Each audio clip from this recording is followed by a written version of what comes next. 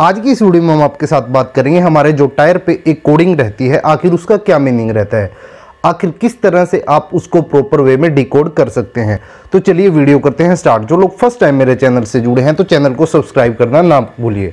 तो सबसे पहले बात करते हैं, हमारे जो टायर पे मार्किंग रहती है, आखिर उसका क्या मीनिंग रहता है? फॉर एग्ज़ाम्पल आपके टायर पे एक मार्किंग लिखी है, दो सौ पैंतीस पचपन आर सतारह निन्यानवे डब्ल्यू तो आखिर इसका हमारा क्या मीनिंग रहता है? तो सबसे पहले बात करते हैं, हमारा जो 235 डिजिट है, उसका क्या मीनिंग रहता है? तो जो यहाँ पे हमारा टायर पे 235 इंडिकेट क्या करता है, वो इंडिकेट करता है उस टायर की हमारी कितनी विड्थ है। यानी वो कितना टायर चौड़ा है।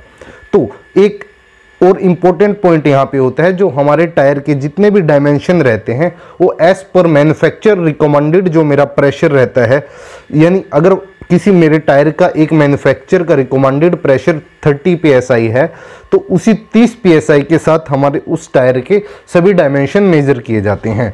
तो यानी 235 mm हमारे को यहाँ पे इंडिकेट करता है कि मेरा टायर कितना चौड़ा है।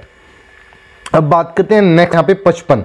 आखिर ये पचपन अब हमारे को यहाँ पे इंडिकेट करता है कि मेरे टायर का एस्पेक्टस रेशो कितना है। यानी इसकी जो सेक्शनल हाइट है वो कितनी है।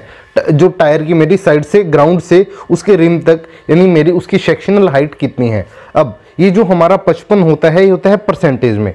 यानी जो मेरी टायर की सेक्शनल विड्थ है, उसका कितने परसेंट मेरी उसकी सेक्शनल हाइट है। जैसे यहाँ पे पचपन पचपन है तो ये पचपन परसेंट इंडिकेट करता है कि जो मेरे टायर की सेक्शनल हाइट यानी 235 उसकी जो विड्थ है, उसका 55 परसेंट मेरा उसकी टायर की सेक्शनल हाइट है।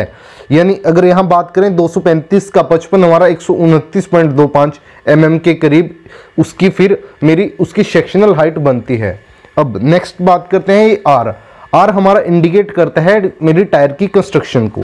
हमारी यहाँ पे टायर जनरली दो टाइप के होते हैं। एक होता है बाइस प्लाई कंस्ट्रक्शन टाइप एक होता है रेडियल प्लाई अगर मेरा यहाँ पे आर इंडिकेट करता है कि वो रेडियल प्लाई का हमारा टायर है। अगर यहाँ पे बी होता तो इंडिकेट करता है कि जो मेरा टायर है, वो 22 प्लाई कंस्ट्रक्शन के साथ है।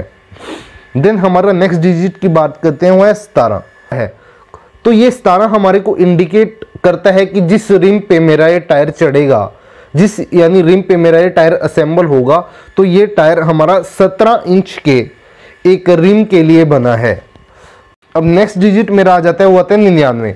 अब निन्यानवे मेरे को यहाँ पे क्या इंडिकेट करता है? निन्यानवे हमारे को इंडिकेट करता है कि जो मेरा टायर है, उसका लोडिंग इंडेक्स कितना है।